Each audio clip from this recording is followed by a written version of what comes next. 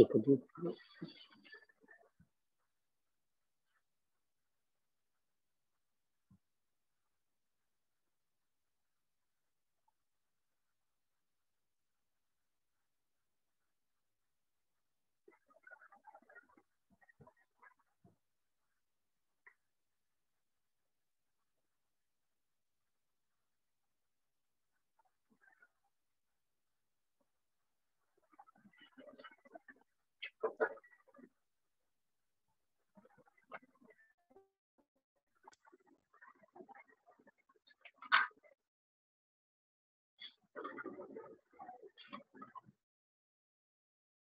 Yes बेटा good evening पहले बेटे, जो आपको करवाया गया था, उसमें से कोई डाउट है तो पूछे बेटा आप। Four point two mainly four point one थी फोर पॉइंट थ्री थी। फोर पॉइंट टू के question one two question twelve इसमें आपको कोई डाउट है, कोई तो वो पूछिए बेटा आप, कोई क्वेश्चन रिपीट करवाना चाहते हैं आप। क्वेश्चन वन से ट्वेल्व तक।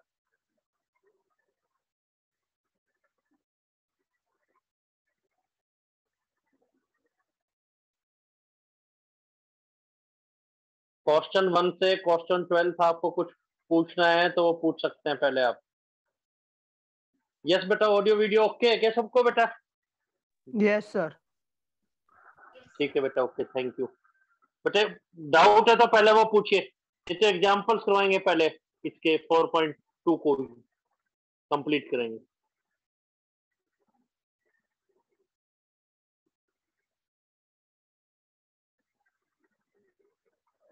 तो बेटे एक रिकैप देखिए बेटा। 4.2 में आपको ये बताया गया था ट्रांसपोज करने पर डिटर्मिनेंट की वैल्यू पे कोई इफ़ेक्ट नहीं पड़ता।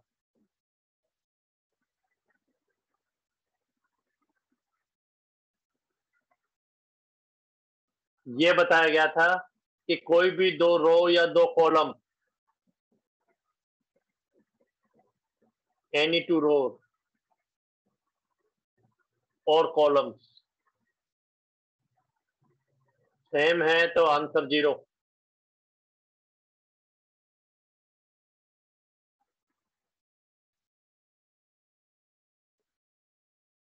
एक लाइन कंप्लीटली ज़ीरो है. तो answer zero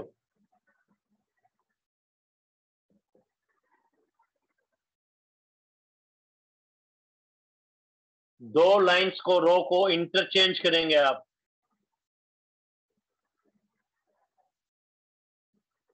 any two rows और दो एनी टू कॉलम्स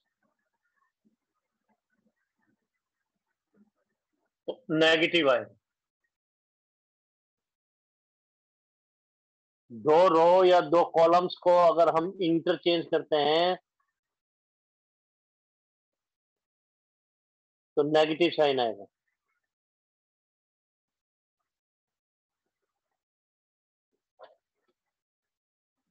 ओवरटेक करेंगे।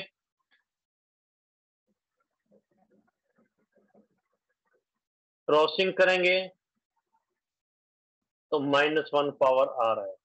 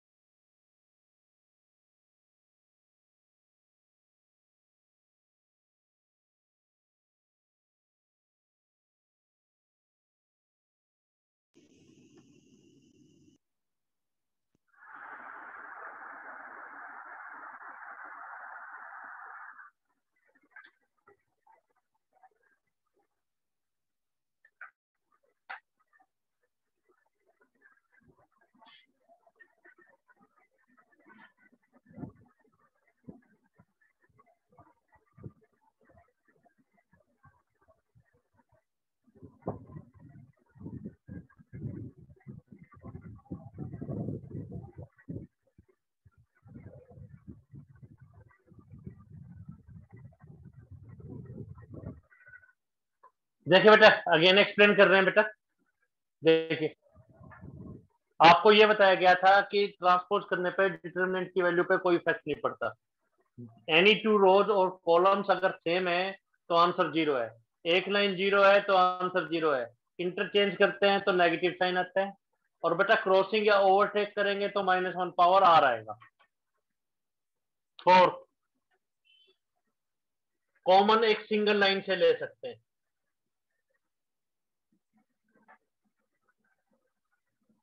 लाइन का मतलब आपको पता है। एनी रो और एनी कॉलम कॉमन आप एक सिंगल लाइन से ले सकते हैं। फिफ्थ आपको बताया था सेपरेशन सेपरेट कर सकते हैं separation with respect to plus minus and with respect to one line एक लाइन के रिस्पेक्ट में और प्लस माइनस के रिस्पेक्ट में आप सेपरेशन कर सकते हैं अलग अलग कर सकते हैं।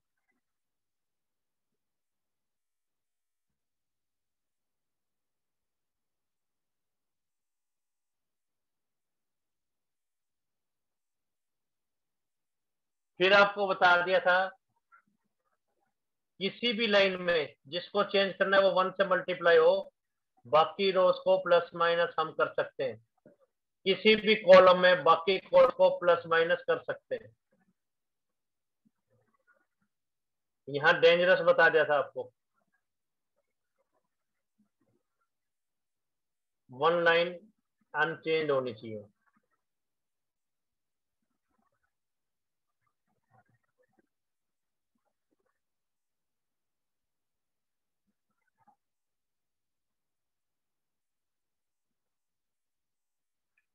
ये आपको बताया गया था। कम से कम एक लाइन अनचेंज रहनी चाहिए।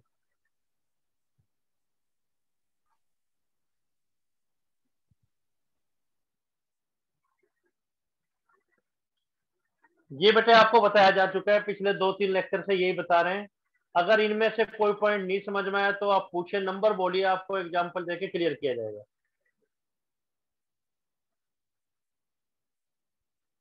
क्वेश्चन वन से क्वेश्चन ट्वेल्व तक अगर आपको कोई डाउट है तो वो पूछ सकते हैं आप। नहीं तो पहले एग्जाम्पल्स कंप्लीट करेंगे बेटा इसके। एग्जाम्पल्स देखिए बेटा इसके फिर। यही कोई नया रिज़ल्ट नहीं, सिर्फ़ प्रैक्टिस क्वेश्चन ऑपरेशंस कैसे अप्लाई करने हैं, ये आपको बताया जा रहा है।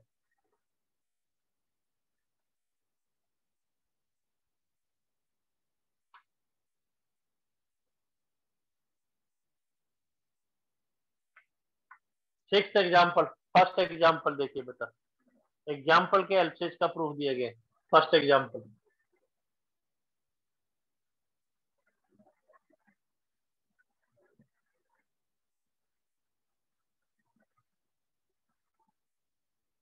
Six.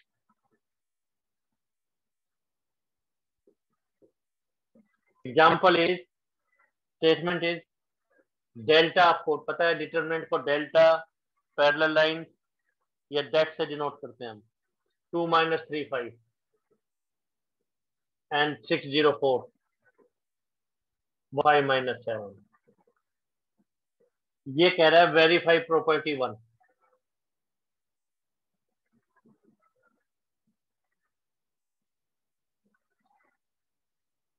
एग्ज़ाम में खैर ऐसा लिखा नहीं आएगा प्रॉपर्टी वन। इस बुक में जो प्रॉपर्टी वन लिखी हुई है कि ट्रांसपोर्ट करने पर डिटर्मिनेंट की वैल्यू पे कोई फ़र्क नहीं पड़ता। तो ज़्यादा ज़्यादा ये लिखेगा prove that determinant equal to determinant A transpose ये नहीं कहेगा प्रूव दैट प्रॉपर्टी वन तो एग्ज़ाम की हेल्प से आपको प्रॉपर्टी प्रूव करनी है। फ़र्स्ट एग्ज़ाम्पल सेकेंड एक्सरसाइज तो बेटा इसकी लेफ़्ट हैंड साइड अलग निकाल लेंगे राइट हैंड साइड अलग निकाल लें। लेफ़्ट हैंड साइड तो क्या है? डिटर्मिनेंट ए जो कि क्या दे रखा है? Two minus three five six zero four determinant expand करना हमें आता है।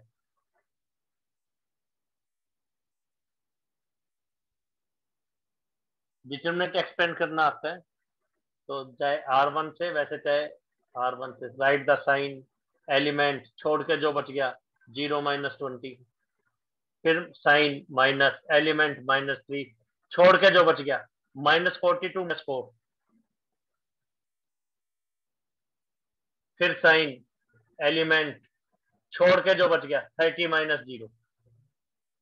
तो दिस बिकम्स माइनस फोर्टी ये minus one thirty eight plus one fifty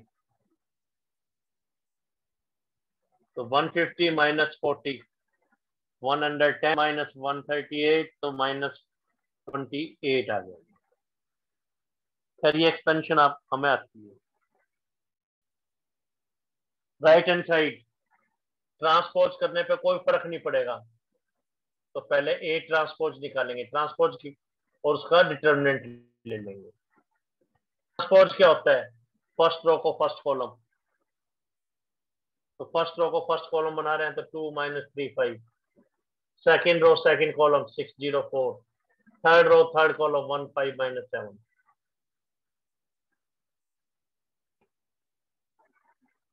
इसको एक्सपेंड करते हैं। पैरेलली जैसे इसको किया है, आपको एक्सपेंड करना आता है तो आप देखते हैं कि माइनस ट्वेंटी एट ही आ रहा है तो from first second left hand side equal to right hand side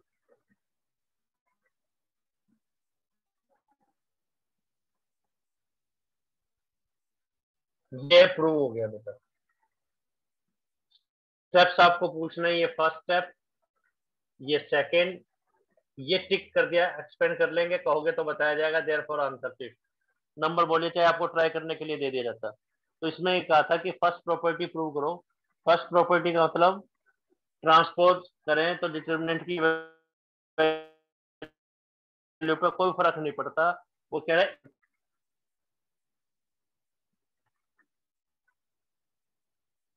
next example seven देखिए बेटा। कह रहे सेकंड प्रॉपर्टी वेरीफाई करो। तो वैसे तो हमने ये थर्ड नंबर पे बताया है। Seventh example.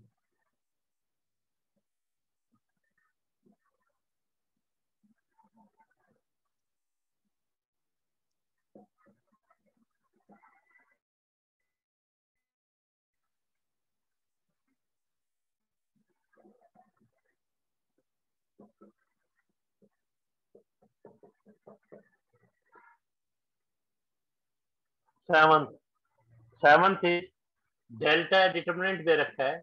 This is two minus three five again वही डिटर्मिनेंट है। Six zero four and one five minus seven तो कह रहा है verify property two second property को वेरीफाई करें। तो खैर एग्ज़ाम में ये नहीं लिखाएगा प्रॉपर्टी टू वेरीफाई कीजिए। किसी बुक में प्रॉपर्टी थ्री भी है तो इस बुक के अकॉर्डिंगली वो बता रहा है। तो इसका ही नहीं है कि प्रॉपर्टी टू तो प्रॉपर्टी टू है क्या? कि रोज और कॉलम को अगर इंटरचेंज किया जाए, आपको बताया था कि भी दो रो या दो कॉलम्स को अगर हम इंटरचेंज करते हैं तो क्या आंसर आता है? दैट इंप्लाइज नेगेटिव साइन आ जाता है। तो दोनों का आंसर सेम नहीं होगा। नेगेटिव हो जाएगा। एक दूसरे से नेगेटिव हो जाएगा। तो कह रहे इसको प्रूव कीजिए?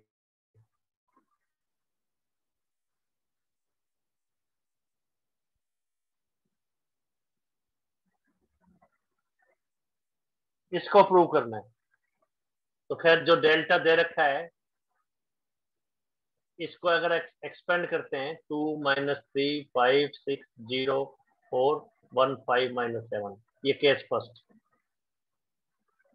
इसको अगर एक्सपेंड करते हैं तो अभी करके भी दिखाया था माइनस ट्वेंटी एट आ रही है। माइनस ट्वेंटी एट आ रहा है। केस सेकंड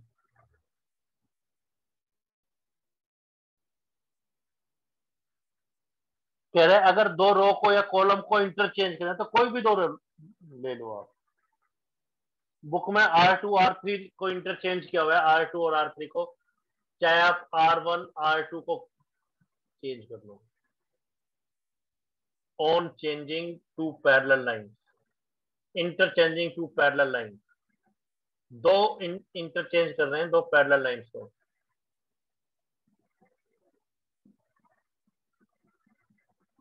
दो पैरेलल लाइंस को इंटरचेंज कर रहे हैं. For example R one interchange R two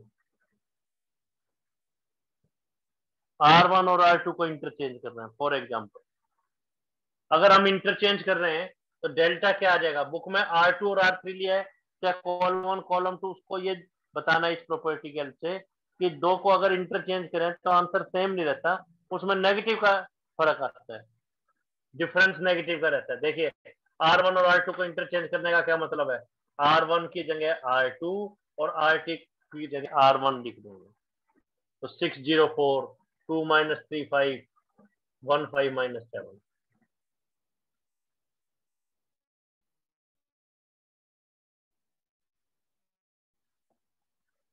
इसको एक्सपेंड कर, एक्सपेंड करना आपको आता है।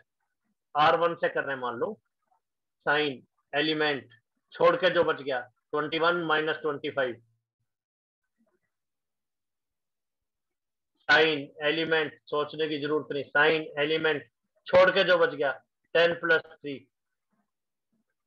आ गया minus twenty four plus fifty two तो माइनस ट्वेंटी एट आंसर नहीं आया ट्वेंटी एट आंसर आया, यानी minus minus twenty eight answer आया। इसको मान लो डेल्टा वन है, ये डेल्टा टू है। तो ये जो है डेल्टा टू का आंसर क्या आया? माइनस डेल्टा वन आएगा ये डेल्टा वन है। आगे माइनस तो ये कंसेप्ट था कि दो राइट दो अगर कोई भी पैरेलल लाइंस को अगर हम इंटरचेंज करते हैं तो आंसर में माइनस का फ़र्क आएगा।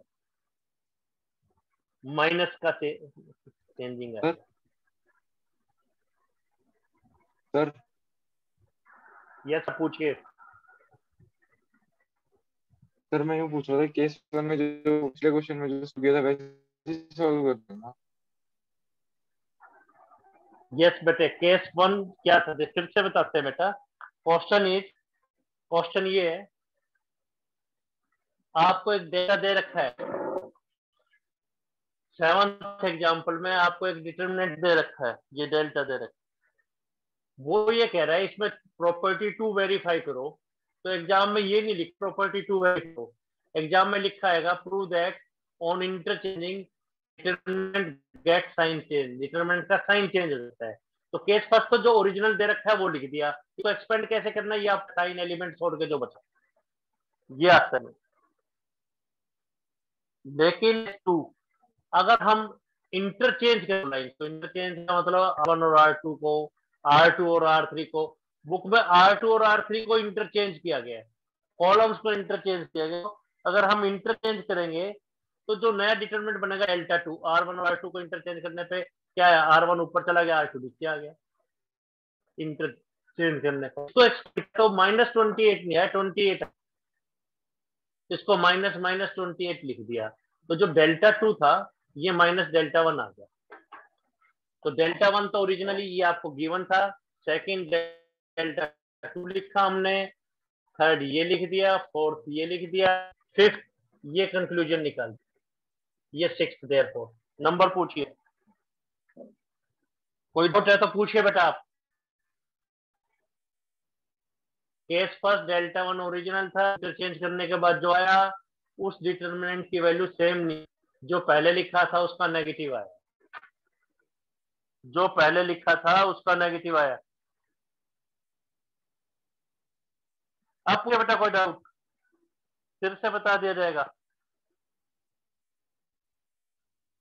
बहुत से तरीके से आप लोगों को समझ में आना चाहिए।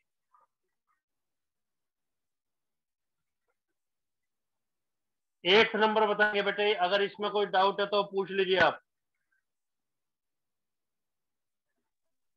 नो सर एट देखे eight number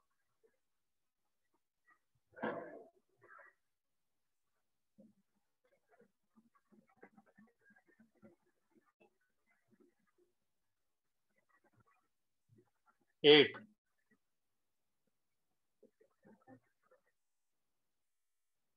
delta given as 3 to 3 2 to 3 and 3 to 3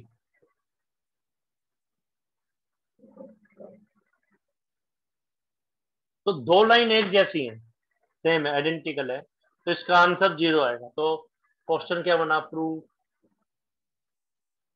that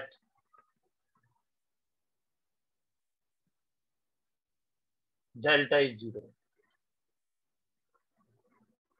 ये प्रूव करते हैं। तो आप इसको प्रोपोज करना है। वैसे तो रीजन ये R one R three identical है। देयर फॉर ज़ीरो है। लेकिन इस चीज़ प्रूव करना है। तो प्रूव कैसे करेंगे? इसको ऐड करके दिखाएँगे। आर वन से कर दो सर किसे करते हैं। साइन, एलिमेंट छोड़ के जो बच गया six minus six zero sign, element छोड़ के जो बच गया six minus nine sign, element छोड़ के जो बच गया फोर माइनस सिक्स तो ये आ गया हमारे पास zero plus six minus six zero तो हमें यही प्रूव करना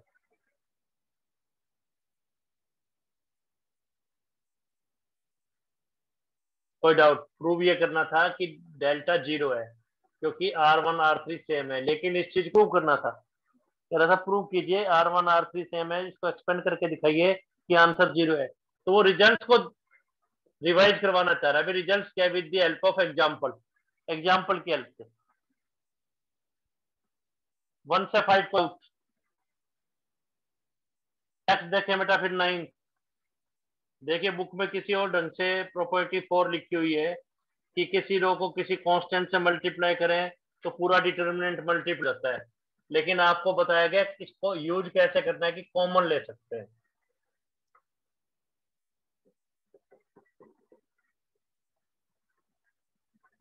डेल्टा है one hundred two eighteen thirty six one three four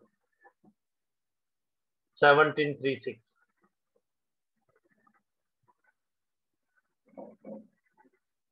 book में ये लिखा हुआ है। बुक में ये मेंशन है कि अगर each element of any line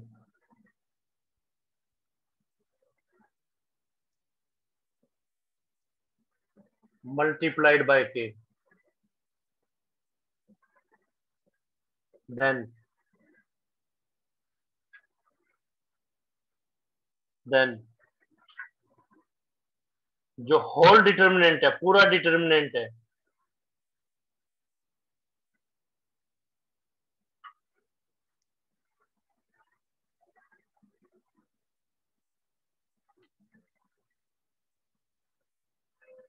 तो पूरा डिटर्मिनेंट कैसे मल्टीप्लाई हो? जाएगा अगर डिटर्मिनेंट में किसी लाइन को किसी कांस्टेंट से मल्टीप्लाई करें तो पूरा। इसको इस वे में यूज़ करना इसको यूज़ कैसे करेंगे? How to use main thing ये है, आपको रिज़ल्ट पता है, पर रिज़ल्ट को अप्लाई कैसे करना है इज़ मोर इम्पोर्टेंट वो उससे ज़्यादा इम्पोर्टेंट है। तो यूज़ कैसे करना है? Common from single common single line से लिया जा सकता है। यूज़ ऐसे करना फ़र्स्ट और सेकंड में कोई डाउट फ़र्स्ट और कैसे यूज़ करना है, कोई डाउट फ़र्स्ट को चाहे ध्यान रखने की ज़रूरत नहीं है. फ़र्स्ट को ध्यान रखने की ज़रूरत नहीं है, जैसे आपको बताया जा रहा है, इस ढंग से आप ध्यान रखिए. जैसे आपको बताया जा रहा है.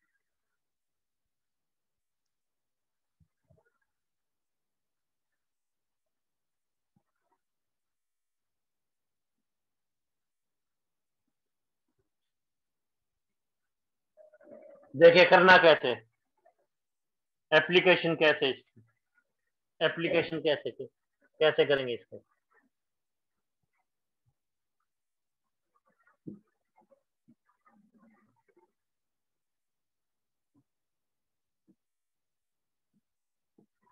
Logic R one large R one में एंट्रीज बड़ी बड़ी नज़र आ रही है। One hundred two eighteen thirty six इसमें छोटी छोटी है।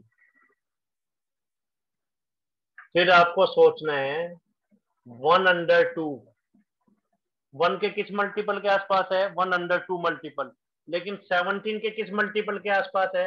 वो सोच रहे seventeen multiple one one two seventeen के किस मल्टीपल के आसपास है? तो वन अंडर टू सेवनटीन के सिक्स मल्टीपल के आसपास है। वन अंडर टू सेवनटीन के सिक्स मल्टीपल के आसपास है। तो इधर से सेवनटीन के सिक्स मल्टीपल के आसपास है। तो ये सिक्स मल्टीपल तो आप ये सोच सकते हैं R one minus six R three एक मेथड को छोटा करने के लिए। तो इसको माइनस सिक्स से मल्टीप्लाई और ऐड कर दो। माइनस सिक्स से मल्टीप्लाई और ऐड कर देंगे। क्या चेंज होगा? आर वन बाकी कोई चेंज नहीं हो माइनस सिक्स से मल्टीप्लाई ऐड, माइनस सिक्स से मल्टीप्लाई ऐड, माइनस सिक्स से मल्टीप्लाई ऐड। एक लाइन पूरी ज़ीरो है तो आंसर ज़ीरो। फिर से देखिए आर वन बढ़ ये एंट्री छोटी कब होंगी जब इसमें से कुछ सब किया जाए? सेवनटीन के किस मल्टीपल के आसपास वन अंडर टू है? सिक्स मल्टीपल के आसपास। इसको सिक्स से मल्टीप्लाई करके सब्ट्रैक्ट कर दो तो एक लाइन पूरी ज़ीरो होगी सेकंड मेथड जो भी आपको अच्छा लगे। वन अंडर टू है, इसको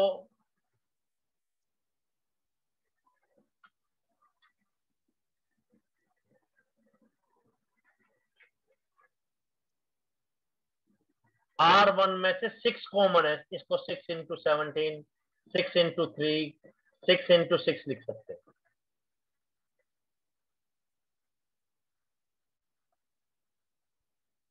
ये six into something six into something six into something ऐसा लिख सकते हैं हम। तो सिक्स कॉमन सिक्स कॉमन लेते ही दो लाइन एक जैसी हैं।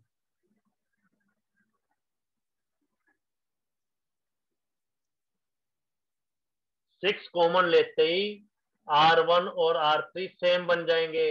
अगर आर वन और आर थ्री सेम बन गए तो आंसर ज़ीरो है। बस। सिक्स कॉमन लेते ही आर वन और आर थ्री सेम है। आर वन और आर थ्री सेम है तो आंसर ज़ीरो बस। कोई डाउट फ़र्स्ट मेथड में और सेकंड मेथड में। फ़र्स्ट में और सेकंड में कोई डाउट है तो पूछिए आप।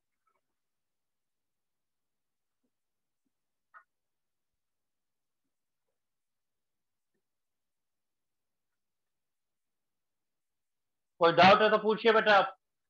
दो मेथड से हो सकते हैं आर वन बड़ा है बड़ा है तो इसको छोटा करना है इसमें सब्ट्रैक्ट करना पड़ेगा।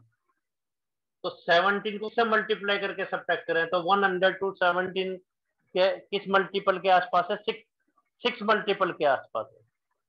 सेवनटीन वन जार सेवनटीन टू जार सेवनटीन थ्री जार फिफ्टी वन सेवनटीन फोर जार सिक्सटी एट सेवनटीन फाइव जार एट्टी टू सेवनटीन सिक्स जार वन हंड्रेड टू तो सेवनटीन सिक्स जार तो 17 को सिक्स मल्टीप्लाई करके एक एलिमेंट एडजस्ट हैं तो बाकी अपने आप एडजस्ट हो गए या इन सब में से सिक्स कॉमन है। या सिक्स कॉमन की बजाय अगर आपको सिक्स कॉमन ना दिखाई दे तो पहले टू कॉमन ले लो, फिर थ्री कॉमन ले लो, दो बार कॉमन ले लो। पहले टू कॉमन ले लो इसमें से। टू कॉमन लेंगे तो क्या आएगा? फिफ्टी वन नाइन एटीन अगर आपको सिक्स कॉमन नज़र नहीं आ रहा तो फिर इसमें से थ्री फिर कॉमन ले लो।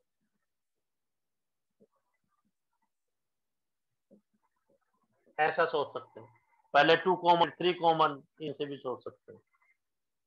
पहले टू कॉमन ले लिया, फिर थ्री कॉमन ले लिया। पहले टू कॉमन लिया, फिर थ्री कॉमन ले लिया। आंसर कोई डाउट नेक्स्ट एग्जाम्पल्स भी करवाते हैं।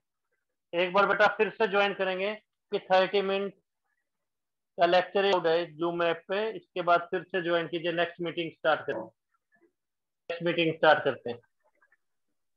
एक बार फिर से ज्वाइन फिर जैसे ये एंड हो जाएगी बेटे अगेन ज्वाइन कर लेना। कोई दिक्कत तो फ़ोन कर